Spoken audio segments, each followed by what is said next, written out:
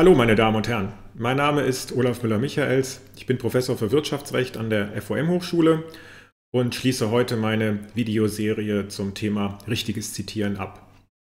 Nachdem wir uns in den ersten drei Teilen damit beschäftigt haben, wie man konkret Gesetze, Rechtsprechung und Literatur zitiert, möchte ich heute noch ein paar allgemeine Hinweise geben. Die Mindmap können Sie wie immer herunterladen. Ich werde den Link dann unter das Video setzen. Okay, als erstes vielleicht mal das Wichtigste. Denn ich sehe ganz viele wissenschaftliche Arbeiten, Bachelorarbeiten, Hausarbeiten, Seminararbeiten, in denen unheimlich viele Internetquellen zitiert werden. Und das kann ich auch irgendwo verstehen, weil das natürlich leicht ist, die aufzufinden, indem man einfach Google anwirft. Aber trotzdem sollten Sie sich Mühe geben, wenn Sie eine wissenschaftliche Arbeit schreiben und möglichst wenig Internetquellen benutzen.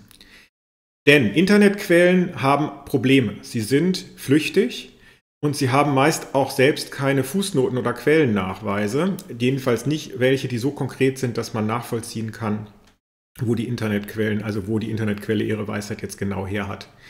Das heißt, Internetquellen wirklich nur in Ausnahmefällen verwenden. Vielleicht nochmal zur Klarstellung. Ähm, Back Online und Juris sind keine Internetquellen, denn diese ähm, juristischen Datenbanken enthalten ja selbst wiederum wissenschaftliche Werke. Die meisten davon sind sogar in Printform verfügbar, sodass sie wie Printwerke zitiert werden, aber auch Back-Online-Kommentar oder so, der ist praktisch wie ein Printwerk. Das würde man jetzt nicht als Internetquelle bezeichnen. Also da müssen Sie keine Sorgen haben. Das ist das, was ich erwarten würde, dass Sie eben aus Back Online und aus Juris heraus, wenn Juris verfügbar ist, ähm, dass Sie die Quellen, die dort vorhanden sind, zitieren. Bei der Rechtsprechung ist das natürlich so, dass Sie die viel im Internet auch kostenlos finden. Auch das ist dann keine Internetquelle, wenn Sie die Rechtsprechung aus über das Internet zitieren.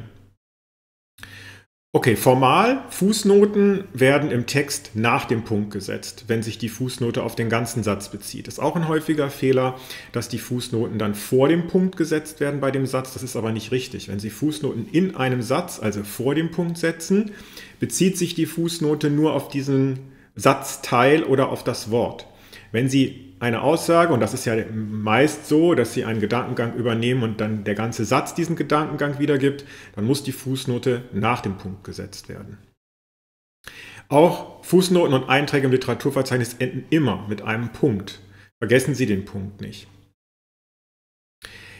Ich habe auch schon in meinem Video zum wissenschaftlichen Arbeiten darauf hingewiesen, dass der das Prinzip der Gründlichkeit verlangt, dass man eben nicht nur eine Quelle auswertet, sondern dass man mehrere Quellen auswertet, wenn man bestimmte Thesen äh, darstellt. Und die Fußnoten können und sollen deswegen regelmäßig mehrere Quellen zu, den, ähm, zu ihren Aussagen enthalten, gerade wenn das eben besonders kritische oder strittige Aussagen sind. In der Rechtswissenschaft gibt es ja viele Meinungsstreits und wenn man zu den Meinungsstreitigkeiten immer nur eine Quelle darstellt, dann ist das nicht richtig. Wenn man dann mehrere Quellen hat, dann werden diese Quellen durch ein Semikolon getrennt. Außerdem ist zu beachten, dass Sie immer die Rechtsprechung vor der Literatur zitieren. Also selbst das Amtsgericht so und so, wobei wahrscheinlich zitiert man die selten, äh, aber auf jeden Fall Gerichte immer vor der Literatur. Gucken wir nochmal ins Literaturverzeichnis. Hm, Im Literaturverzeichnis sind die Nachnamen da habe ich auch schon öfter Probleme äh, das gesehen, dass nämlich gefragt wird, wie ordne ich das Literaturverzeichnis. Das Literaturverzeichnis ist nach Nachnamen der Autoren oder Herausgeber, also Nachnamen, normalerweise Nachname des Autors. Wenn es ein Mehrautorenwerk ist, das von einem bestimmten Herausgeber herausgegeben wird, zum Beispiel Kommentare, dann ist der Herausgeber relevant für die Reihenfolge, in der das auftaucht. Und bei manchen Kommentaren ist es auch so, zum Beispiel beim Münchner Kommentar, da ist der Name so eingeführt, dass dir, der Münchner Kommentar wäre dann unter M aufzunehmen. Ähm, da sind die Regeln jetzt nicht ganz streng. Wenn Sie den Münchner Kommentar nach dem Nachnamen der Herausgeber oder Redakteure aufnehmen, ist das auch kein großer Fehler, aber es ist halt unüblich. Dann nochmal, das ist anders als in der BWL. Im Literaturverzeichnis wird nicht nach verschiedenen Kategorien unterteilt. Ich weiß, dass der BWL-Leitfaden und der FOM dazu eine andere Aussage enthält. Deswegen ist das jetzt auch kein schwerer Fehler, wenn Sie das machen, führt nicht zur Abwertung. Aber in juristischen Arbeiten ist es unüblich, ähm, die, die Quellen, die Literatur in verschiedene Kategorien wie Kommentare, Fachaufsätze, Monographien zu unterteilen. Eine Ausnahme gibt es, Internetquellen sind separat aufzuführen. Zu den Internetquellen habe ich aber gerade ja schon was gesagt, die sollten Sie wirklich sparsam einsetzen. Und gerade wenn Sie die erste Hausarbeit schreiben, bemühen Sie sich vielleicht überhaupt keine Internetquellen zu verwenden. Ähm, Ihr Korrektor wird es Ihnen danken. Im Literaturverzeichnis, und darauf bin ich ja sehr intensiv eingegangen in dem Video über die Literatur, müssen Sie bei Kommentaren, Handbüchern, Lehrbüchern und Monographien, also bei allem außer Fachaufsätzen, eine Kurzzitierweise definieren, die dann wiederum in den Fußnoten verwendet wird. Ich habe diese Kurzzitierweise Ihnen ja vorgestellt. Das wird dann immer dadurch erreicht, dass man erstmal die bibliografischen Angaben macht und danach in Klammern zitiert, Doppelpunkt und dann die Kurzzitierweise definiert, die man dann in den Fußnoten verwendet. Manchmal sehe ich auch, dass im Literaturverzeichnis akademische Titel aufgeführt werden oder andere Namenszusätze. Das ist falsch. Also die, das Literaturverzeichnis darf keine akademischen Titel oder andere Namenszusätze enthalten. Wichtig ist auch, und deswegen habe ich das hier mit einem Ausrufezeichen versehen, Einheitlichkeit. Das heißt, Sie müssen die gleiche Kurzzitierweise überall verwenden. Gerade wenn Sie jetzt äh, ein Werk im Literaturverzeichnis in einer bestimmten Art und Weise definiert haben, dann verwenden Sie diese Zitierweise einheitlich in allen Fußnoten. Machen Sie nicht mal dies, mal jenes. Das ist eigentlich ein, das, ist das wichtigste Gebot hier ähm, bei, bei, der, bei der Wissenschaft, also bei den formalen Vorgaben, dass Sie die möglichst einheitlich, oder was heißt möglichst, dass Sie die Einheitlichkeit beachten. Das geht dann auch zusammen mit dem nächsten Punkt, nämlich Sie können schon auch ein bisschen von diesen, es ist jetzt kein, Sie werden das sehen, wenn Sie verschiedene juristische Zeitschriften oder Kommentare angucken, dann unterscheidet sich die Zitierweise in Details. Und da werden jetzt manche unsichere fragen, ja, ist das denn auch richtig? Wieso? Hier steht das doch so. Es gibt in der Rechtswissenschaft keine komplett einheitliche Zitierweise für den Münchner Kommentar zum Beispiel. Gibt es nicht für die Kurzzitierweise. Da wird Myko verwendet, Münchkom, Münchner Kommentar. Manche schreiben den Autor davor und schreiben dann Komma in, andere machen einen Schrägstrich. Also all diese Abweichungen, wenn Sie dann zum Beispiel anstatt einem Schrägstrich einen Gedankenstrich machen, dann ist das kein Problem, wenn Sie das einheitlich verwenden. Also seien Sie jetzt nicht so, so, so äh, in Sorge, dass Sie bei, Detail, bei irgendwelchen Abweichungen im Detail äh, einen schweren Fehler begehen. Einen schweren Fehler begehen Sie nur dann, wenn Ihre Fußnote oder Ihre, äh, ihr, Ihren Eintrag im Literaturverzeichnis nicht so präzise ist, dass man genau erkennt, von wo Sie die Quelle übernommen haben. Das ist der eine schwere Fehler.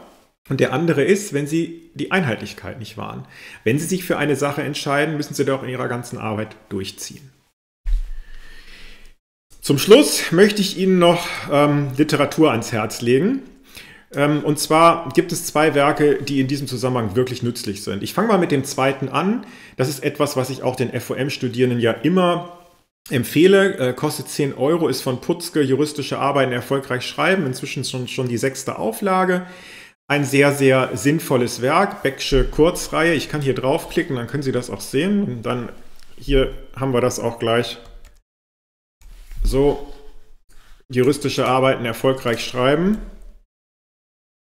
Das ist ein, ein, ähm, ja, eine gute Investition. Es soll jetzt auch sogar eine siebte Auflage kommen, kann ich sehr empfehlen. Vor allen Dingen ist es deswegen empfehlenswert, weil in diesem Werk auch eine Musterhausarbeit enthalten ist. Und zwar sowohl eine Falllösungsmusterhausarbeit als auch eine themenorientierte Musterhausarbeit, wie sie zum Beispiel an der FOM häufiger geschrieben wird. Während an äh, Universitäten, Staatsexamens Prüfungen, ähm, da sind ja dann die Fallhausarbeiten üblich. Das beide hat der Herr Putzke berücksichtigt.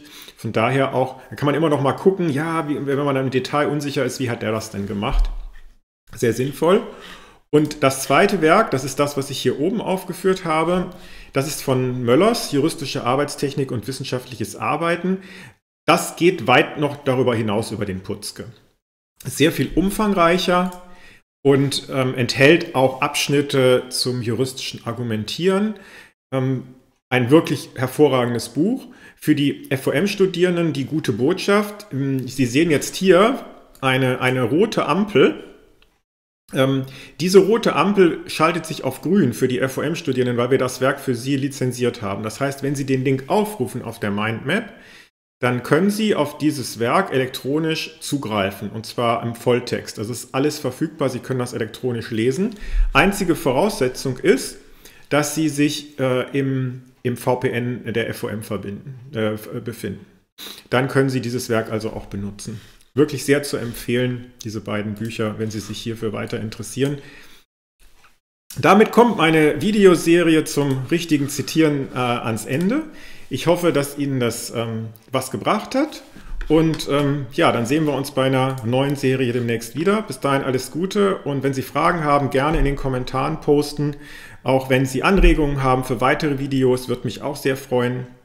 Dann äh, schreiben Sie es einfach in die Kommentare. Ansonsten natürlich ich sage das nicht so oft, aber wäre super, wenn Sie, den, äh, wenn Sie den Kanal abonnieren würden. Das würde mir, würd mich sehr freuen und hilft mir auch weiter und zeigt mir, dass die Videos auch ankommen. Bis dann, alles Gute.